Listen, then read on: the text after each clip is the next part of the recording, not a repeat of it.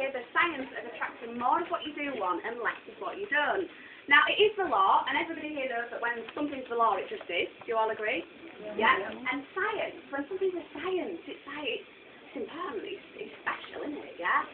Now, if I could dip behind this speaker unit here, right, and pull out a test tube, you know, think science, you think test tube, if I could pull out a test tube here today, filled with pink and purple sparkling rose scented water and say to you, this is law of attraction, will you just tap this test tube around and you can all sniff it and you can all see it and it's sparkling. If I could do that, then I would. But there is no test tube, yeah? It is the science of the law of attraction, but law of attraction isn't something you can see and smell and, and touch, but it is all around, all of us, yeah? Every minute and every second of every single day, the law of attraction is in action, okay?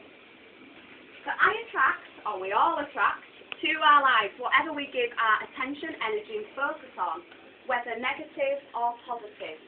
Yeah, whether negative or positive. So how does the law of attraction work? You'll see that there's four spaces to fill out now. Number one, okay, I'll give you the first word, and then if anybody thinks they know what the other words are, I'll give you some examples. You can shout out and join in, yeah, remember it'll help you learn it nice and quickly.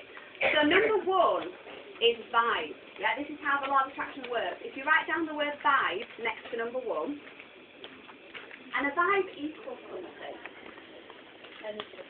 I'm going to give you an example. So today I arrived late and came in here when you were all here nearly at about 25 past the hour, and felt a certain vibe, yeah? You could, when you walk into a room, you can sense the vibe. Does everybody agree? Give me a yes. Yeah. Yeah. So you walk into a room and you're like, oh, it's a good vibe. I've, you know, walked in there, oh, it's a good vibe here. Um, you might walk into a shop where there's been a big queue and people have been angry before you've arrived and you, you sense that negative vibe. Everybody agree? Yeah. You're like, mm, something's off.